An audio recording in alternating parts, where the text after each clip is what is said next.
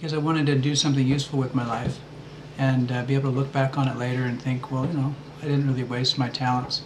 Um, I could have been working for the government, uh, or I could have been working for like encryption people because I'm good at math.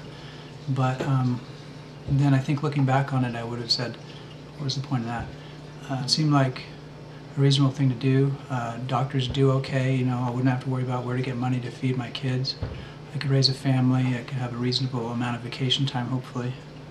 I was kind of wrong about that one, but um, it seemed like a good idea.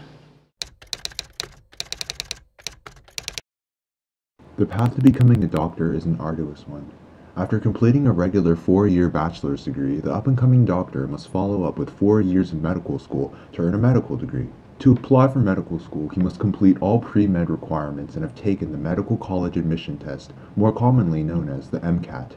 Similar to the college admission process, medical schools look for students with interest and motivation in health and education with strong extracurricular activities and time management abilities. Top medical schools include Harvard University and the University of Pennsylvania.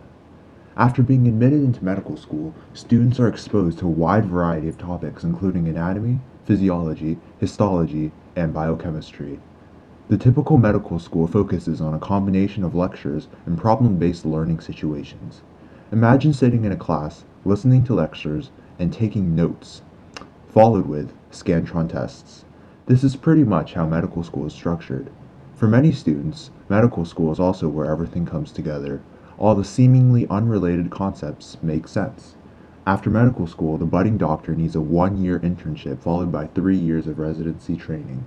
Aside from the training, there are exams that must be passed as well.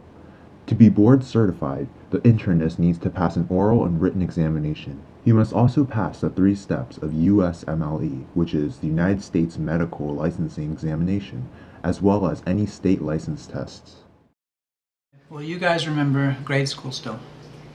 And then you remember going to middle school, and it was probably a step up a little bit harder.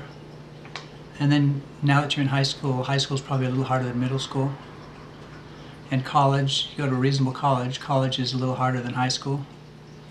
And then you go to medical school, and the workload doesn't require any more brains, it's just there's a lot more of it. Um, so in that sense, it's a lot harder than, than college because it requires a lot more time and dedication.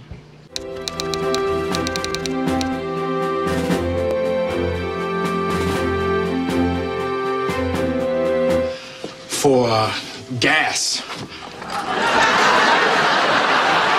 His job is to leave here and die.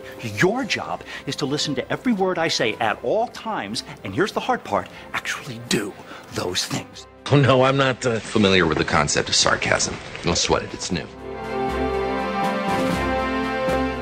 Starting salaries for an anesthesiologist range from 100,000 to $200,000.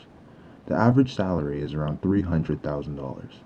Anesthesiologists typically work at hospitals, medical centers, dental offices, pain management clinics, and surgical centers. Um, actually, my daily routine starts the night beforehand when I look at the schedule and I figure out who's going to do what the following day, who's going to do what cases, and um, if any of the cases that I'm doing or any of the other guys are doing require uh, a little bit of preoperative workup, then I make sure that happens. Then the morning of surgery, I get up and get my butt into the operating room area, um, usually about half an hour before surgery starts. Sometimes surgery doesn't start until 7.45, sometimes surgery starts at 7.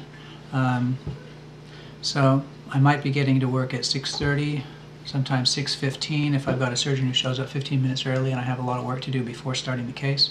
Um, I say hi to the patient, um, I get a good idea of exactly what's wrong with this patient, what sort of diseases they have, what uh, what things I can get away with anesthesia-wise and what I can't.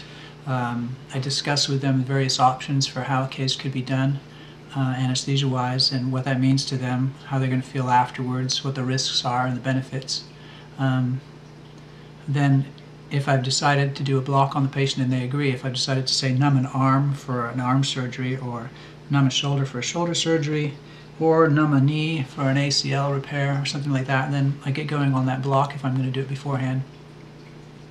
Um, I check on my room. I make sure that the machine's in working condition. I make sure I've got a good oxygen supply and access to suction. And uh, I load up all my drugs into syringes that I plan to use. Uh, make sure the nurses are ready. Make sure the bed's locked. There's a lot of silly little things that you think, well, you know, the guy's a doctor. He shouldn't be doing that. But if if the nurse forgets to check that the bed's locked and I don't bother because heck, I'm a doctor, then you know, you push a gurney, you know, one of those wheeled carts up to the bed with the patient in it, and you ask them, you lock that thing, and you ask them to scoot over to the bed, and they scoot over and fall on the floor. Everybody's in trouble and the patient's hurt. So you have to take care of the little things too. Um, so once I'm sure the room's ready, the nurses are ready, the scrubs are ready, get the patient, once the surgeon's available, get the patient into the room, um, put on the appropriate monitors, um, give them a little oxygen, get them off to sleep if I'm planning on it, or just sedate them if I'm not. Um, we do the surgery. I wake the patient up. We take them out to the recovery room. I watch them for a few minutes, make sure they're tucked in and doing well and stable and everything's good. Um, then I go say hi to the next patient. And uh, I keep doing that until all the patients taken care of for the day. The facility's doing well, nothing bad has happened. And um, then I check on the surgery schedule for the next day if I haven't already. Uh, if I got some time for lunch in there, that's great. If I didn't, well, I didn't. Sometimes I just grab a bite between cases because there isn't time. Um, sometimes I sit through an eight hour case and then there isn't time. Um, I check on the patients for the next day, then I go home. If anything interesting happens in the meantime, overnight, if they want to change a case or a cancel case, they call me and we change things. Starts again the next morning.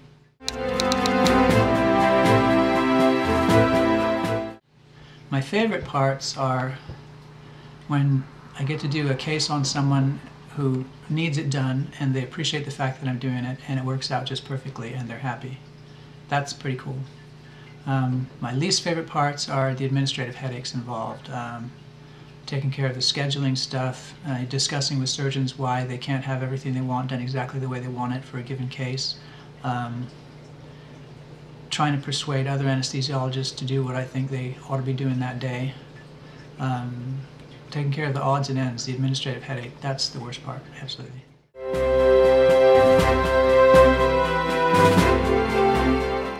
Attention to detail. You, you can't let anything go by, just kind of let it slide because if you let one or two things slide and someone else lets something slide, then there's three bad things that's going to happen and you didn't necessarily prepare for all of them and then you could end up with a dead patient or a bad injury or a really bad outcome. Uh, you, you can't let things slide at all. Um, everything has to be exactly the way you want it. You have to have be, you have to be pretty smart because you have to think of every bad thing that could possibly happen and then make sure it doesn't happen. Um, you have to be willing to get up early. I don't like getting up early, but it really helps to be willing to get up early. Uh, you have to keep up on, you have to be willing to keep up on, you know, the field of anesthesia. It's the same with any medical profession. You really need to keep up on it because things change, technology changes, uh, there's advances in drugs, there's advances in methods, um, new diseases are identified here and there, um, and how that changes your field. You have to know about it. You have to be able to talk to people. Uh, it's okay if you start out sort of shy before medical school because going through medical school will make you less shy and going through your training makes you even less shy. And by the time you're done, I think pretty much anybody's capable of walking up to a person they've never met before and asking them all kinds of weird personal questions and then figuring out what to do with the information.